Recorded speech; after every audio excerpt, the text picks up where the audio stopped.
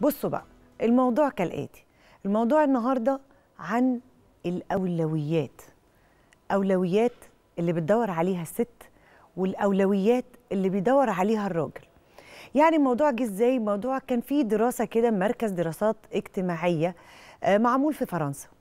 فقعدت كده أقرأ الدراسة كده وإن إزاي الناس تهتم فعلا بالأولويات.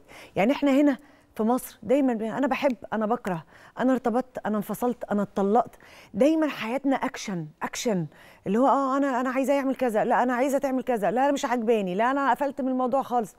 حياتنا كلها للنقيض من الأبيض للأسود من الأسود للأبيض. لكن لما قريت الدراسة قعدت قلت إيه؟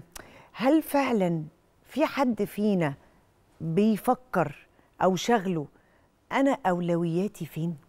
يعني أنا كإيمان قعدت مع نفسي كده مرة قعدت أنا أقول لنفسي كده هل أنت قعدتي مع نفسك مرة وقلتي أنا أولوياتي في إيه؟ يعني بدل ما أقول أنا عايزة وعايزة وعايزة وعايزة وعايزة أتجوز وعايزة أخلف وعايزة أشتغل وعايزة أعمل وعايزة عايزين إحنا دايما بنقول أنا عايز لكن أولوياتي إيه؟ أعتقد كتير مننا ما قعدش مع نفسه القعدة الحلوة دي اللي هي القعدة اللي هو أنت ونفسك. أنا ونفسي كده ونقعد ناخد وندي كده مع نفسنا؟ واولوياتي إيه؟ احتياجاتي إيه؟ طب أنا أولوياتي دي الراجل اللي معايا عارفها؟ طب بلاش عارفها. الراجل اللي معايا حاسسها؟ طب بلاش حاسسها. هل الراجل اللي معايا واعي عنده الوعي بإيه هي أولوياتي اللي أنا طالباها منه عشان يقدر يوفرها لي أو يديها لي؟ ده حال ده الحال السيء اللي إحنا عايشينه. أنا ببقى عندي أولويات اللي معايا مش فاهمها ومش عارفها. ونفس الحكاية هو عنده أولويات برضو عايز حاجات معينة من الست بتاعته من مراته من خطيبته. حاططها في حياته بس هل بيعرف يوصل لها؟ هل بيعرف يوصل لها؟ دي مشكلة. النهارده بقى هنوضح آه، الستات أولوياتها إيه والرجالة كمان أولوياتهم إيه. عشان نقدر نوج يعني نقرب وجهات النظر.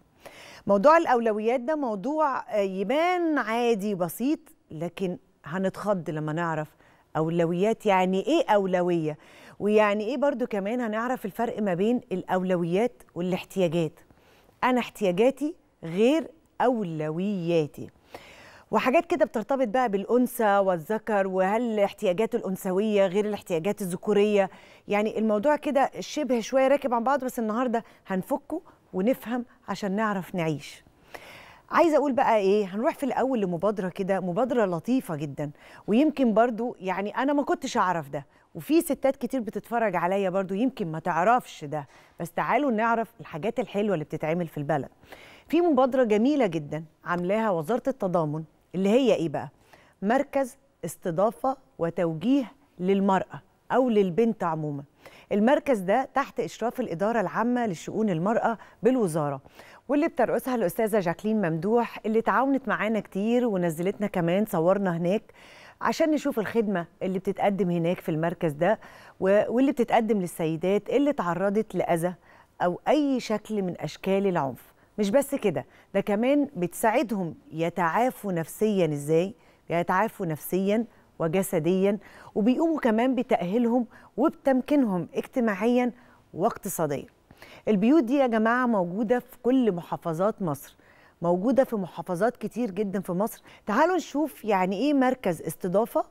أنتوا عارفين يعني إيه مركز استضافة؟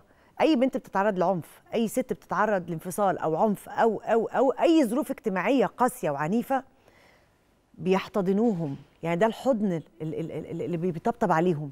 شوفوا مشاكلها إيه بيتعاملوا معاها إزاي؟ إزاي يأهلوها نفسيا؟ إزاي تبقى فرد في المجتمع واثق من نفسه؟ شريف عفيف آه الحلال الحرام. اعملي ده وما تعمليش ده. يعني استضافة وأنا بسميه الحضن الحنين. تعالوا نشوف مع بعض.